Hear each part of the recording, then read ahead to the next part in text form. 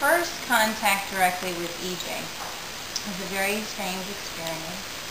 I um I had met Tamara, so I kept hearing about this person, and she had introduced me to some ideas and books. And then I would go shopping, and I'd see like you know practical work on self just showing up, and I thought that was kind of strange.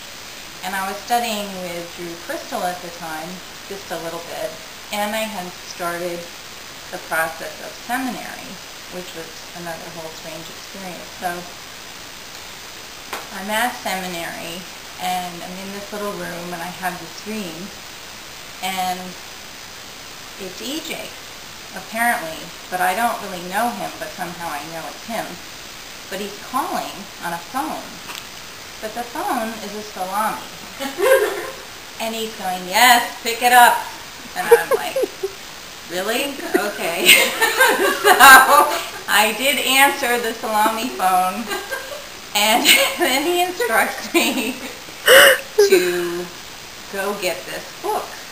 And it was this journal, and on the front of the journal was a story about a pool.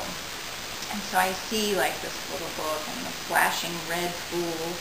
I'm thinking, could this be right? You know, so I wake up, I remember this part, I write it down, I go to Borders, I find the journal, and there is the article and the fool.